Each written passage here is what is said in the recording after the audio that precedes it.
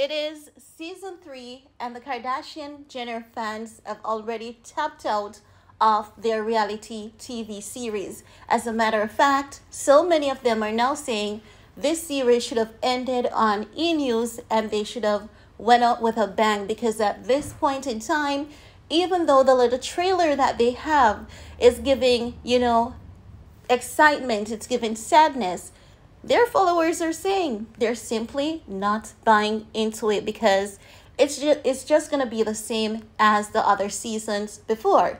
However, there's a comment that I've seen if you know a few times and that is people are happy that Scott Disick is coming back. Now, when we said Scott was coming back because the show was just dry, it was not delivering, and many people found Scott Disick entertaining. That is what the media was saying because I don't watch the show. I haven't watched that show in well over 10 years, maybe more, right?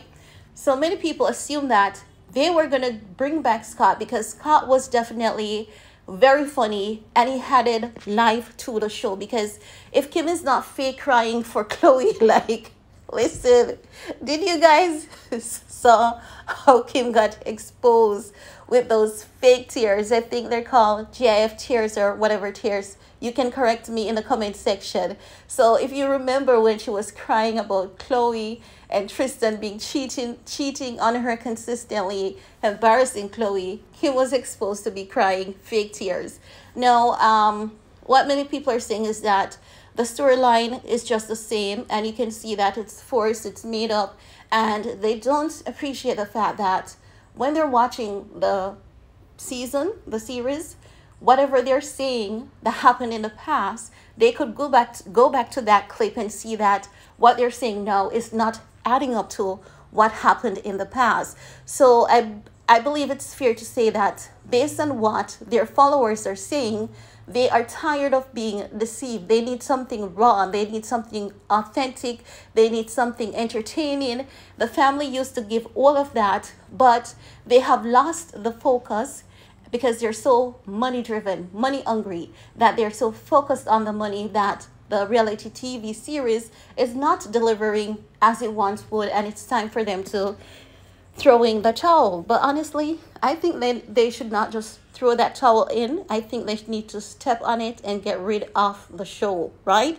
Because if if I can tell based on public responses that people are not being entertained, it means that they're just dragging this dead horse because it is what made them famous.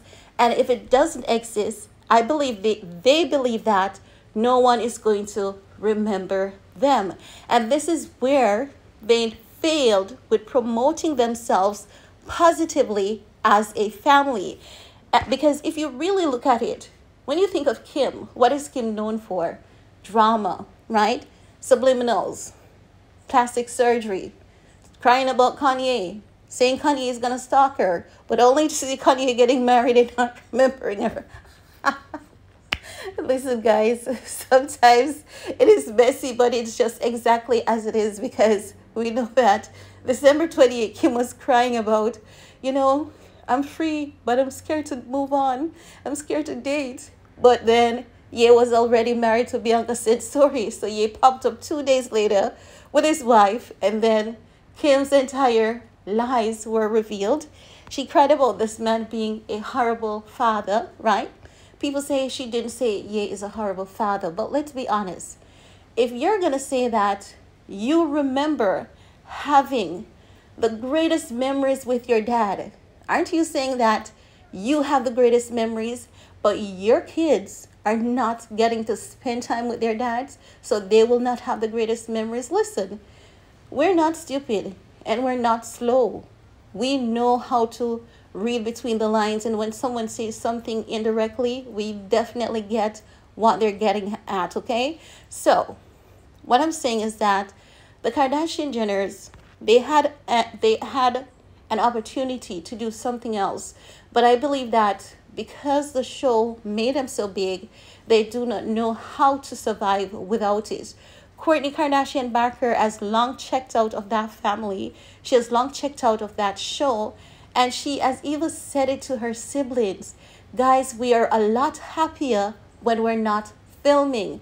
So, what I believe they should have done is this I believe that they should have dropped Keeping Up with the Kardashians on E, and I believe that everyone should have moved on to rebrand into their own reality TV series because that would have built more excitement.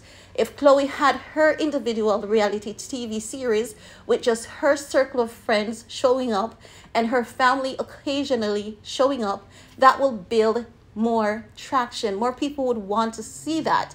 And if Kendall and Kylie moved on to build their reality TV show together with their, you know, family occasionally occasionally showing up in that, people would want to see that. Kim just the same. People would want to see what Kim is doing with the kids. How much is she complaining about Ye? With her talking about Pete Davidson, Big DE energy and all. People want to see those things. But at this point together, the family is not delivering. And I believe that if they should go their separate ways and keep on doing reality TV series, it will definitely pique people's interest, even though some ratings are going to be a lot more than some. But I believe that Kris Jenner, the mom, I believe that if Kris Jenner has a reality TV series by herself, that would be fire because she's more entertaining than many of her daughters. And we would want to see Kourtney and Travis in their family life without Kim, without Kris, without Kendall, without Khloe. We want to see Kourtney and Travis Barker with Alabama Barker, Penelope. We want to see that. Just get rid of the Kardashians because your fans are saying they have tapped out. You guys can reinvent, rebrand, come back, and still capture the audience even better than before. But that's my opinion, okay? That's my opinion. I want to hear from you guys. Let me know what your thoughts are. And while you're at it, give this video a big thumbs up. Thanks for your time. Stay safe, stay blessed. See you all next time. Bye, guys.